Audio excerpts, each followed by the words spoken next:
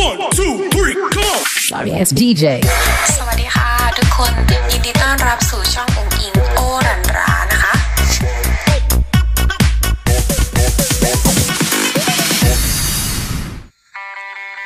สวัสดีค่ะสำหรับวันนี้นะคะ เราจะพาไปผลิตน้ำดื่มจากน้ำบาดาลแบบง่ายๆ งบน้อยก็ทำได้กันค่ะ จะผลิตน้ำไว้ดื่มเอง หรือจะผลิตขายก็กำไรงามค่ะ ซึ่งเราได้ทำคลิปเจาะน้ำบาดาลแล้วนะคะ เดี๋ยวเราจะทิ้งคลิปไว้ท้ายคลิปนี้เลยค่ะ ถ้าใครสนใจสามารถชมคลิปย้อนหลังได้ค่ะหลายคนอาจจะสงสัยนะคะว่าผลิตน้ำดื่มจากน้ำบาดาลดื่มได้ไหมปลอดภัยไหมวันนี้เรามีคำตอบค่ะ จากกรมทรัพยากรน้ำบาดาลนะคะ ได้กล่าวไว้ว่าหากเทียบกับน้ำประปาดื่มได้แล้ว น้ำบาดาลสามารถดื่มได้เช่นกันค่ะยังไม่ต้องกังวล เพราะว่าน้ำบาดาลและน้ำประปาแตกต่างกันเพียงแค่แหล่งน้ำเท่านั้นค่ะ โดยน้ำประปาจะมาจากแหล่งน้ำในดิน ขณะที่น้ำบาดาลมาจากแหล่งน้ำใต้ดินค่ะ น้ำดื่มนะคะ ถือได้ว่าเป็นสิ่งที่จำเป็นต่อชีวิตมนุษย์มากเลยค่ะ ในแต่ละวันผู้คนต้องดื่มน้ำเป็นจำนวนมาก ในอดีตนะคะ ผู้คนดื่มน้ำจากน้ำประปา หรือน้ำที่ผ่านการต้ม จากนั้นก็มีเทคโนโลยีด้านการกรองน้ำได้มีการพัฒนามากขึ้น เครื่องกรองน้ำและอุปกรณ์นะคะ ราคาประมาณ 1 0 0 0 0 0ถึง4 0 0 0 0 บาทค่ะ ราคาของเครื่องจักรนะคะ และอุปกรณ์จะขึ้นอยู่กับกำลังการผลิต หากผู้ประกอบการต้องการเครื่องที่มีกำลังการผลิตสูง ราคาเครื่องก็จะสูงตามไปด้วยค่ะ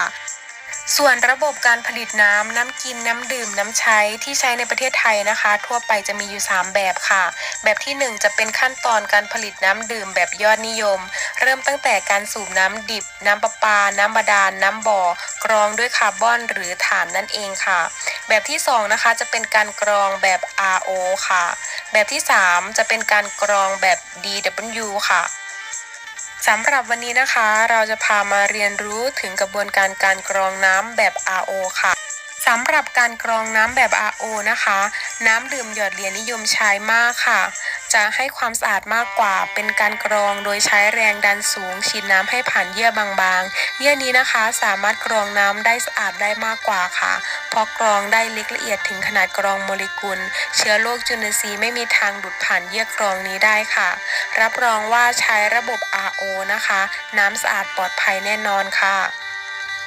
ตอนนี้นะคะเราก็ได้ทราบถึงระบบการผลิตน้ำดื่มกันแล้วนะคะ ต่อไปค่ะ เรามาดูวัตถุดิบอุปกรณ์หลักที่ใช้ในการผลิตน้ำดื่มกันเลยค่ะมีสองถังมีถังน้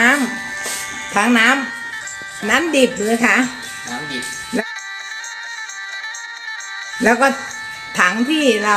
ผ่านเครื่องกรองน้ำดีเขาเรียกน้ำดีเนาะอันนี้ถ้าเราต้องการเพิ่ม เราก็เพิ่มได้แตัวนี้ก็ถุงเทแล้วพอละ2,000 ลิตรต่อวันนี้บรรจุเยอะแล้วครับ เรามาดูกรรมวิธีการผลิตน้ำดื่มกันเลยค่ะ โดยทั่วไปนะคะ กรรมวิธีการผลิตน้ำดื่มบรรจุขวด จะแบ่งเป็นขั้นตอนตามที่ออยกำหนดค่ะ ซึ่งมีดังต่อไปนี้ค่ะ 1. ขั้นตอนการกรอง ประกอบไปด้วยกรองด้วยสารที่เป็นตัวกรอง ถังกรอง ชนิดต่างๆค่ะ หรือใช้วิธี RO 2. ขั้นตอนการทำล้างเชื้อจุลินทรีย์ประกอบไปด้วยใช้แสงอุลตราไวโอเลตหลอด UV และหรือใช้ระบบโอโซนค่ะ น้ำเข้าปั๊มอันนี้จากถังน้ำน้ำข้าวปั๊มปั๊มแล้วก็จะแล้วก็มากขึ้นมาน้ำอันนี้มันตัดเองทำงานครับเองเป็ใช่นไหมมากคะน้ำปริมาณน้ำเป็นลูกบาทเออเป็นลูกบาศก์จะเข้าเคกรอรื่องงเข้ามาแล้วก็มาเข้าเครื่องเข้าเครื่องเครื่องมีสามตัวแมงกรกาองนีสามสชั้นคาร์บอนอืมเรซินอ๋อต้องผ่านกระบวนการกรอง กรองกรองกรองจะมากรองหยาบตัวนี้ก่อน อ๋อ อันนี้ อันนี้เขาเรียกกรองหยาบครับเข้กรองหยาบก็กรเข้าองเคหรื่องยาบ RO แล้วก็มา RO ก็จะผ่านเมมเบรน RO เมมเบรนก็จะส่งเก็บถังน้ำดิบน้ำดีพอถังน้ำดีจบเวลาเรากรองมันจะมาเข้าปั๊มตัวนี้ ผ่าน UV แล้วก็จะส่งจากในห้องบรรจุ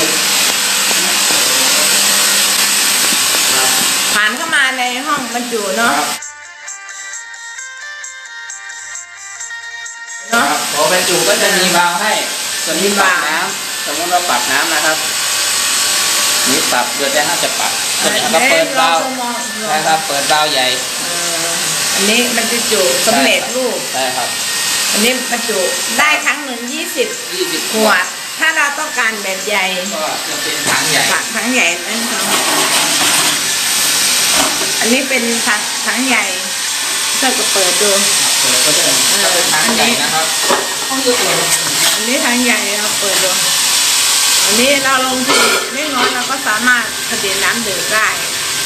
อันนี้ประสบความสำเร็จ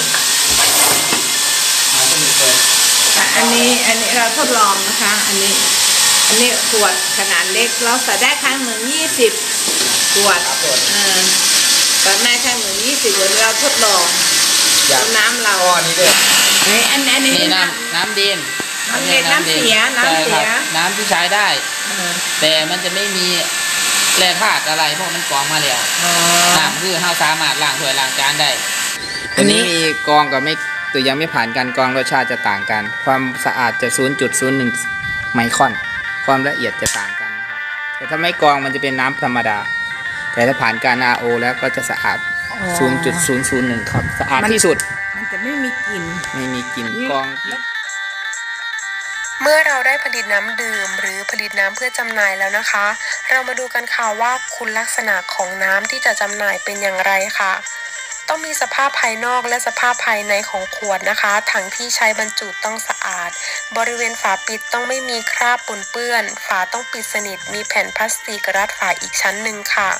ลักษณะของน้ำต้องใสไม่มีตะกอนสีกลิ่นรสที่ผิดปกติ ต้องมีฉลากระบุชื่อตราน้ำดื่มที่ตั้งของผู้ผลิต ปริมาณสุทธิ เลขทะเบียนออยอย่างชัดเจนค่ะละสรรพคุณเดียวกันกับของแม่เลยอ๋ออันนี้ของครับสรรเดีพยวคุกัณน เหมือนกัน ตอนนี้นะคะทุกคนก็ได้ทราบถึงกระบวนการผลิตน้ำดื่มต่างๆ แล้วนะคะสำหรับวันนี้ค่ะ เราขอตัวลาไปก่อนค่ะ เดี๋ยวเจอกันใหม่คลิปหน้านะคะ ขอบคุณค่ะ